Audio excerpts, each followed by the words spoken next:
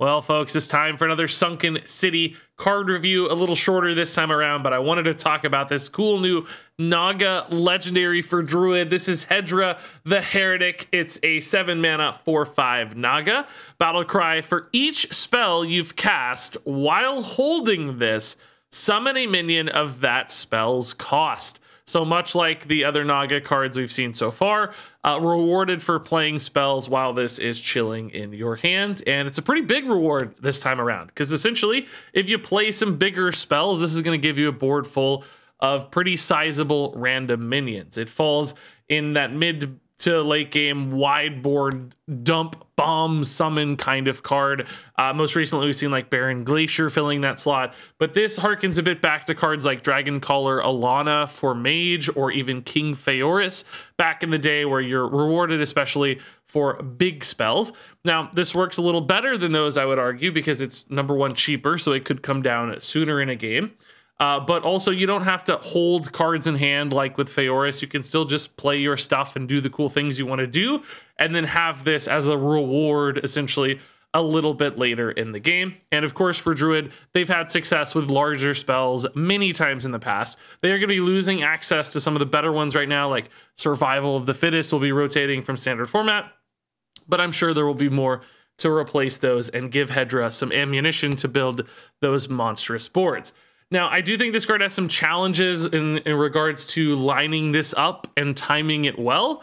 Uh, essentially, if you want to play this at like seven mana as fast as you possibly could, you're not often going to have a bunch of big spells in the pool just yet. You might have some smaller stuff, the you know smaller ramp cards, some card draw stuff as you move towards seven mana.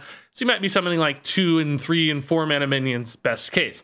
I'll argue that's still not bad in some matchups. Just playing Hedra that summons like three or four mid game minions, that will be enough to stabilize in a lot of situations. If a board just, if a matchup doesn't have any kind of wide board removal, that could be the bomb that wins you the game, especially if you have any kind of wide board support cards that follow up with buffs or burst damage.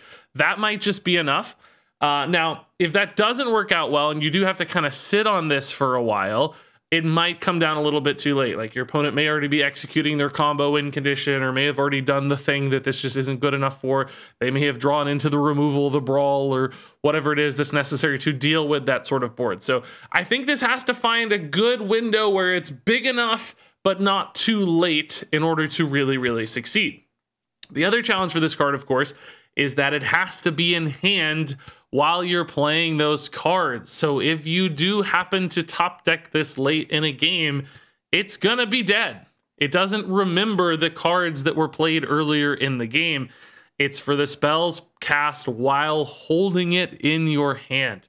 So I think there's a little bit of risk there that if you top deck this, you might need three or four more turns to really pump it up to make it playable. I'm very nervous uh, that half of games this card's going to be kind of useless. Some decks might say like, "Oh, this is just a bonus. I got a lot of cool spells anyway. I'm going to toss this in as a occasional payoff that steals a game here and there." That might be viable. Other decks might have more de- decisive game plans they have to move towards and win conditions they move towards where this doesn't really advance that cause and is kind of a dead card in some cases. So that's a risk that this just sort of falls to the wayside because it's not quite compelling enough in its own case. It has those low roll situations where it falls apart. And uh, other times it may just not be decisive enough because your opponent has the removal by the time you get this thing into tip top shape. So challenges overcome. That said, it's still just one of those cards that plays a lot of stuff. Druid can ramp successfully. Druid has big spells to play towards. So I'm not saying this card is doomed at all just that it's going to take a pretty specific deck, I think, to line it up very well. This is not a general use case kind of card that every druid finds a lot of success for, as far as I'm concerned.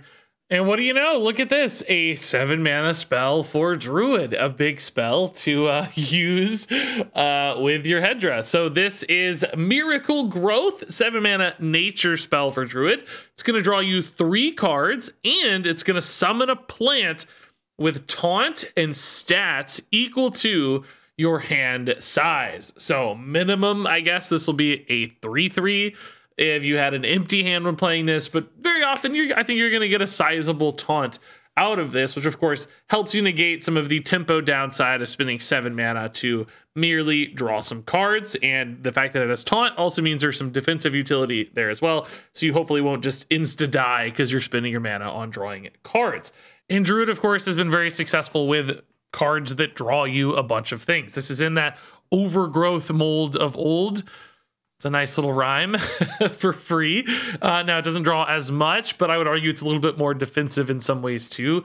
The five health heal was always nice on overgrowth, but this body might be even more frustrating to deal with and can be even more proactive if you manage to be ahead in the game as a threat on board.